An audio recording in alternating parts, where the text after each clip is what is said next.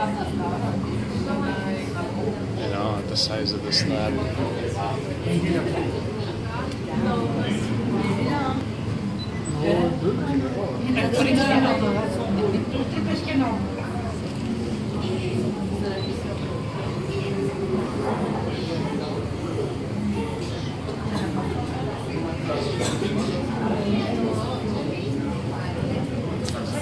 Thank